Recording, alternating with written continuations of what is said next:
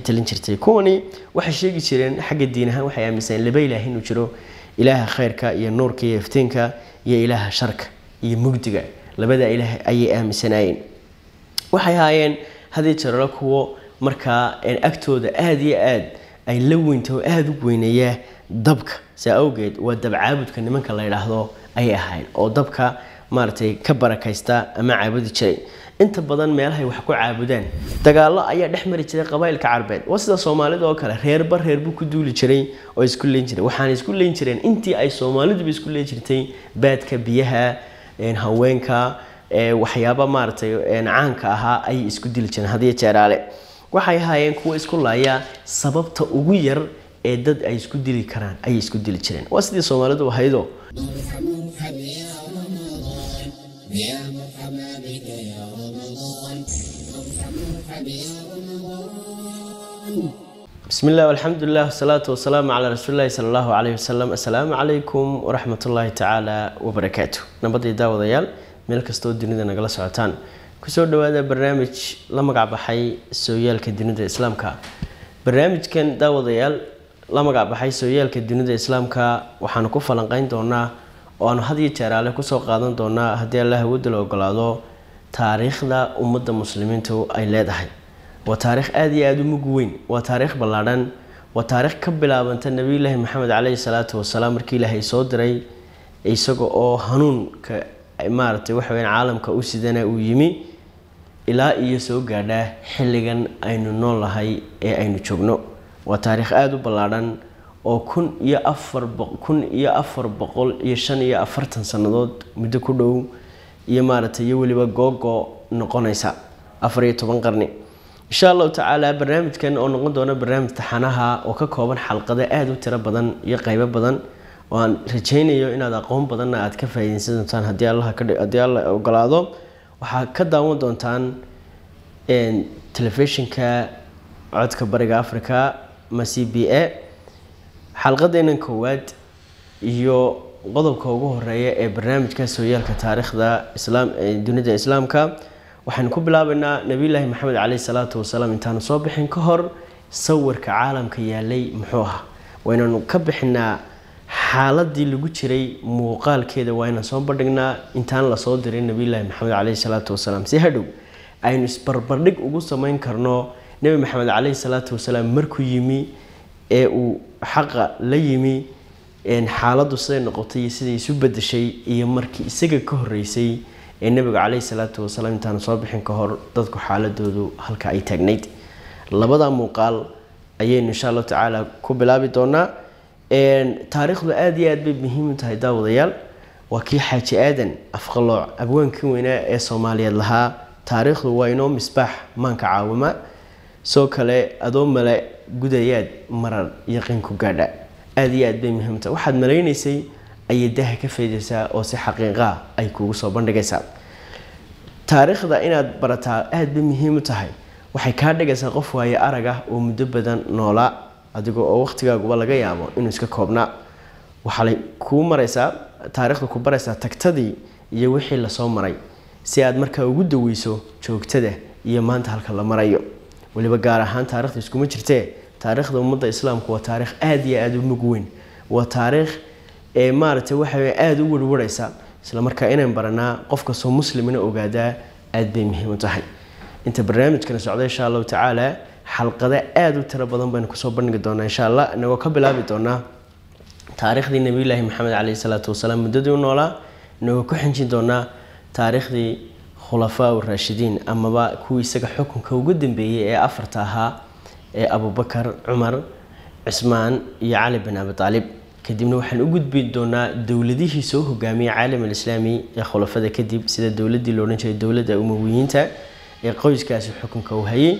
Waxaa kalena u gudbi doonaa insha alla dowladihii waaweynaa ee caalam islaami ka soo taliyay sida dowladda cabaasiyiinta ilaa iyo aynu soo gaadhno cismaaniyiintii burburkii caalam islaami ku dhacay iyo khaliifadii islaamka kadibna gumaystihii caalam islaami soo galay ee qeybqeybiyey ee ka dhigay sidan iminka uu yahay iyo waxyaabihii ka dhashay oo dhan.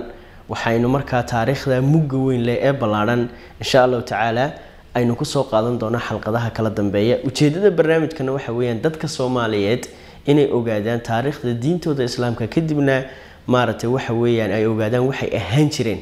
Waayo haddii share waxaa la dhaha qofku markuu ogaado wuxuu ahaan jiray ayuu dabeetanaa ku noqon karaa wuxuu ahaan jiray awooddii iyo sharaftii uu lahaa. Xalqadeena koowaad waxaynu ka bilaabaynaa insha allahu tacaala xaaladdu sideebay ahayd intaan nebi maxamed caleyhi salaatu wasalaam la soo dirin gaar ahaan ee caalamka oo dhan gaar ahaan xaaladda siyaasadeed iyo habmaamulkii qaabkii laysu maamuli jiray iyo qaabkii arrimaha bulshadu ay ahaayeen ama ijtimaac bulsho ahaan say u noolaayeen. Nabiyullaahi maxamed caleyhi salaatu wasalaam waxaa la soo diray oo lala soo diray hanuun iyo diin xaqa jaahiliyadda iyo shirkiga iyo gaalnimadu arlada oo dhan buu gaadhay marka. Oo markii aan nabiga caleyhi salaatu wasalaam la soo dirin. Waxaad ogaanaysaa xilligii nebi maxamed la soo diray waxay ahayd xilligii ugu baahi badnayd ee nebi yimaado ee nebi la soo diro. Ayay ahayd dabcan. Iyadoo gaalnimada shirkiga iyo alla dadku ay alla ka furteen oo ay ka fogaadeen buu nabiyullaahi maxamed caleyhi salaatu wasalaam soo baxay. Dadkan nebi maxamed caleyhi salaatu wasalaam isagaaba sheegay oo xadiis buu ku sheegay maaragtay waxa weyan ay ka mid tahay xadiiska oo markaa waxa weeyaan xadiisulqudsiya dabcan ilaahay leeyi tabaaraka watacaala addoommahayga waxaan abuuray iyaga oo waxa weeyaan toosan oo xunafaa oo diinta ku toosan baan abuuray. Laakiin shayaadiin baa u timi kadibna waxay ka leexisay diintoodii waxay ka xaaraan yeeshay oo ka mamnuucday wixii anigu aan u xalaal yeelay. Wixii aan ka xaaraan yeelayna waa u xalaalaysay. Kadibna waxay fartay inay shirki aniga ii sameeyaan oo markaa waxa weeyaan ay waxay la wadaajiyaan dabeedna ilaahay subxaana watacaala wuxuu eegay dadkii dhulka joogay wuxuu u cadhooday dhammaantood. Marka laga reebo in yar oo diintii nebi ibraahim caleyhi salaatu wasalaam weli sii haysata oo towxiidka ku sii toosnayd marka laga reebo waayo dhammaantood way gaaloobeen ama gaalnimo iyo shirki ayay ku dhaqaaqeen. Xagga marka la eego dunida dowladihii ka jiray waaweynaa nebi maxamed caleyhi salaatu wasalaam ka hor waxaa ka mid ahaa boqortooyada caanka ahayd ee la odhan jiray maaragtay romaniska ama romaniyiinta gaar ahaan romaniyiinta sharqiga iyo galbeedka ee bariga islaamka ku noolayd soo kale waxaa la boqortooyadii bizandiniya ama bizandiya ayaa la dhahdaa waxay xukumi jirtay dowlado badan sida iminka wadanka la dhaa griiga halku ku yaalo aasiyada qaaradda aasiya badankeeda suuriya wadanka la dhaa falastiin waxa weeyaan waqooyiga africa ayay dowladaasi soo gaadhay ka talin jirtay sida masar iyo wixii la midka caasimadda dowladaasi xooga badnayd ee boqortooyada bizandiniya la odhan jiray waxa ay ahayd qustandiniya magaalada la odhan jiray ee iminkana la yidhahdo istanbul ee wadanka turkiga ee ku taalla. Ee dowladdan ee diinta ay faafin jirtay ama diinta ay haysatay waxa weeyaan waa dabcan niman kristaan ah. Ay nasaara bay ahaayeen asalka cibaadadooduna shirki ayaa uu ku salaysnaa. Waayo waxay odhan jireen saddex ilaah baa jira waa diinta caqiidada ay kiristaanku qaar badanoo ka mid a ay rumaysan yihiin waxay odhan jireen nabiyullaahi ciise calayhi salaam waa ibnullah waa inankii ilaahay wuu ka nasahan yahay. Ilaahay tabaaraka watacaala waxa ay sheegayaane. Sidoo kale boqortooyadii boqortooyadani dulmi fara badan bay samaysay oo dadyowga ay xukumaysay hadidaad badan iyo maaragtay waxyaabo fara badan oona qaadi karin. Sida cashuuro badan ayay ku soo rogtay oo culays ku noqday bulshadii ay maamuleysay kadibna meelo fara badan baa markaa kacdoona ay kaga bilaabmeen dowladaasi dowladaasay ahayd waa xilligii nabi maxamed caleyhi salaatu wasalaam ka hor dowladihii dunida ka talin jiray ayaynu markaa ka hadlayna sidoo kale waxaa iyaduna caan ahayd boqortooyadii farisiyiinta ee loo yaqaanay embaratoriyat alfarisiya oo iyaduna markaa waxa weeyaan ee ka talin jirtay dhulkan iminka la ydhaa wadanka iiraan iyo ciraaq iyo ereyada ka talin jirtay. Kuwani waxay sheegi jireen xagga diin ahaan waxay aaminsaneen laba ilaah inuu jiro ilaaha khayrka iyo nuurka iyo iftiinka iyo ilaaha sharka iyo mugdiga. Labada ilaah ayay aaminsanaayeen waxay ahaayeen haddii jaralo kuwo markaa agtooda aada iyo aad ay la weynta oo aada u weyneeyaa dabka. Saa awgeed waa dabcaabudka nimanka la yidhaahdo ayay ahayn oo dabka maaragtay ka barakaysta ama caabudi jiray. Inta badan meelahay wax ku caabudaan ee kiniisadahooda iyo macaabidooda dabku kama baktiyi jirin. Waayo dabka ayay u yaqaanaan inuu yahay wanaag iyo khayr inuu yahay iyo markaa arrin baraka u keenaysa. Dadkani ama dowladani saasay xukunka soo haysay muddo dheer iyada lafteeda ilaa iyo qarnigii shanaad ee taariikhda milaadiga ee bilowgiisii waxa weeyaan taasoo markaa keentay fasaad fara badan dowladaas ku dhacay kadibna keentay dowladaas inay meesha burburto. Boqorada xukumi jiray dowladan farisiyiinta ee ka talisa ee ka talin jirtay wadanka iiraan iyo ciraaq iyo gobollada ee ka agdhow waxa ay markaa xukunka isugu dhiibi jireen habka boqortooyada ay iskasoo xukumi jireen dadkana waxay u yaqaaneen ummadaha caalamka kalena inay ka sarreeyaan oo ay ka khayr badan yihiin. Waayo waxay odhan jireen waxay rumaysaneen caqiide ah in ay qeyb maaragtay inay tafiirta in tafiirtooda ay ka timi xagga ilaahay inay ka timi. Tacaala allahu camaa yaquuluun ilaahay subxaana wa tacaala wuu ka sarreeyaa waxay ku sheegayaan sidoo kale dowladda iyada aan la hilmaami karin ee jirtay caalam alislaami ay caalamka ka jirtay dabcan nabi maxamed caleyhi salaatu wasalaam. Ka hor intaan la soo dirin waxaa ka mid ahaa hindiya. Wadanka hindiya dowlad baa ka jirin jirtay ballaadhan gobolka hindiya wuxuu caan ku yahay diimaha kala duwan oo boqolaal iyo kumanaan diimood baa laga aaminsan yahay ilaa imika taariikhdaasi waa soo jireen oo muddo dheer baa diimaha kala duwan laga aaminsanaa laakiinse waxaa ugu caansanaa diinta hunduuska oo kale ama maaragtay waxa weeyaan iyo buddhismka iyo kuwa ugu caansan ayay ahaayeen diinta hunduusku waa ta nolosha reer hindiya oo dhan markaa qabsatay bay ahayd waana ta ay isku kala xukumi jireen ee noloshooda maamuli jirtay. Hase yeeshee hindiya xaalad fawdo ah iyo markaa maamulada oo kala maamulada oo tiro batay ayay ku noolayd. Dagaalo ayaa mararka qaarkood dhex mari jiray maamulada googa-ay ee wadanka hindiya ama maaragtay dhulweynaha hindiya. Kadibna taasi waxay keentay inay caalamka ka go-do oo ay dibudhac fara badan. Dunida markaa jirtay in waxa weeyaan hindiya ay caan ku noqotay. Sidaa waxay ahaataba caadooyin fara badan bay lahaayeen. Caadooyinka waxaa ka mid ahaa haweeneydu wax qiimo ah dhexdooda kumay lahayn. Haweeneydu ama ruuxa dumarka wax qiimo ah mujtamacii hindiya kumay lahayn.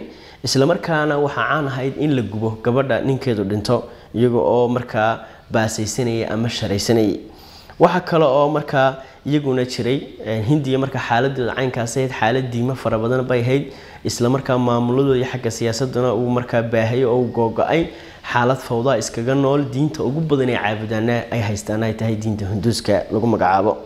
Carabta haddaad iyaga u timaado nebi maxamed caleyhi salaatu wasalaam ka hor intaan la soo dirin dadka jasiiradda carabta deganaa waxay u qaybsanayeen reer miyi iyo reer magaal jasiirat alcarab waa halkii nebi maxamed caleyhi salaatu wasalaam uu ka soo baxay weeyaane waxay u qaybsanayeen dad reer miyiga iyo kuwo kale oo reer magaala. Dadka reer miyiga ay dabcan waxay ka shaqayn jireen xoolo dhaqato ayay hayeen sidii mujtamaca soomaaliyeedba dabcan uu ahaa. Halka reer magaalka carbeedna ay ahaayeen dad inta badan ka shaqeeya beeraha iyo ganacsiga ama tijaaradda. Nidaamka iyo habka isku maamuli jireen waa habkii soomaalidu isu maamuli jirtay oo kale nidaamka qabaliga ah ama reeraha ah ayaa xoogganaa oo nidaamka suldaanka iyo caaqilka iyo qabiilka iyo madax dhaqameedka iyo maaragtay qabailka kala duwane xeerarka u dhexeeyaan ayaa caan waa tabtii aynu soomaali ahaan u soo noolaan jirnay ilaa iminkana aynu nool lahay. Jasiirat alcarab waxay ahayn meel markaa iyaga laftooda dowlado kala dambeeyey baa soo maray sida dowladda la odhan jiray saba oo kale oo taariikhdu ay xustay qur'aanka kariimkana lagu sheegay sidoo kale dowlado oo yaman dabcan ka jirtay. Markaa dowlado waxa weeyaan xadaarad inkastay lahaayeen oo dowladda ay samaysteen haddana nidaamka reernimada ayaa ka xoog badnaa nidaamka dowladda oo sida soomaalida. Meel kastoo soomaalidu joogto dowlado ayay leeyihiin ama maamul baa jira. Hase yeeshee maamulka waxa ka sarreeya oo ka xoog badan nidaamka reerka ayaa ka xoog badan iyo qabiilka. Carabtuna tabtaasay ahayd. Inkastoo boqortooyooyinka caankaa lahaayeen ama maxaan ku dhahday dowladaha taariikhda fog bilaabmay ee gaar ahaan yaman oo kale ka dhisnaa haddana nidaamka reerka ayaa aad u xooganaa. Carab markaynu ka sheekeyna lena carabtu waa dad dhiig isku xidhay waa dad dhiig ka dhexeeya weeyaan. Dadka carbeed waa dad dhiig ka dhexeeya wada dhalasho ay ka dhexayso weeyaan. Waa dad markaa waxa weeyaan u soo noolaa habka qabiilka u soo noolaa muddo dheer dhulkaa saxarahana inta badan ku noolaa ee ka soo farcamay.